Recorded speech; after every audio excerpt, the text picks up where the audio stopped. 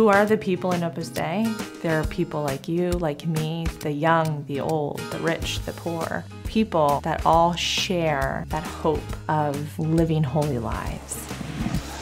I'm a mother and a homemaker. A father of two, a surgeon. I'm a real estate agent. Financial manager. I'm a soccer coach. I'm the mother of eight, a fashion designer. I am a mother and a technology consultant. Saint Josemaria Escriva, the founder of Opus Dei, encouraged people of every background and occupation to seek holiness in daily life. What brings us all together is the spirit of Opus Dei. Anybody who wants to live a holy life can be a member of Opus Dei. Most of its members are married. For them, striving to make holy their family and profession forms a central part of their Christian life. I happen to live my vocation in the middle of the world, in my profession, in my home with my eight children and my husband. Opus Dei has taught me you have a path to sanctity, and that path is my love of my wife and my, my job and my duty as a father and a husband. There are also lay women and men who live celibacy as a gift from God. I can think of no better reason for celibacy than the personal call of God. Who do professional work, have friendships, and live in society like anyone else, but they dedicate themselves in a special way to giving Christian formation to others. My life looks like everybody else's life, but I consider it a great privilege to be able to help people to find Christ. I'm available to give talks and classes and also to meet with people one on one for direction or advice. Some of its members become priests and serve the faithful of Opus Dei and others with their priestly ministry.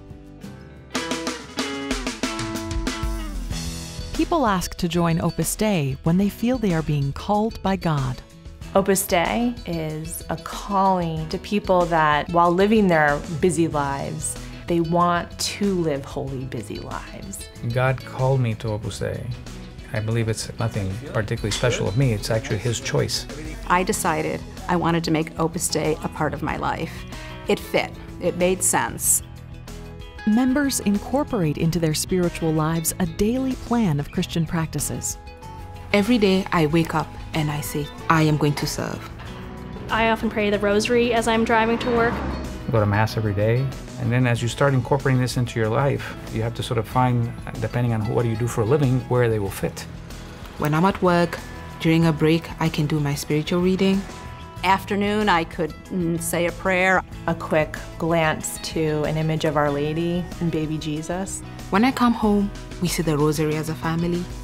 Mm, Before I go to bed, I usually do some spiritual reading. And I examine my conscience and sort of say, how did the day go? That's how I live my vocation.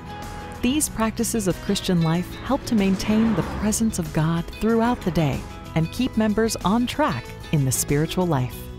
My life changed dramatically when I became a member of Opus Dei. I'm able to do those very simple things that I have in my life and then and get to heaven.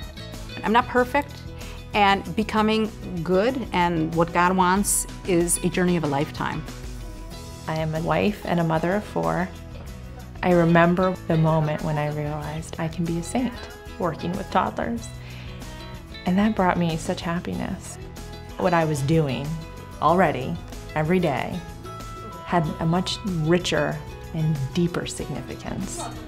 That was my path to sanctity, to holiness, to God.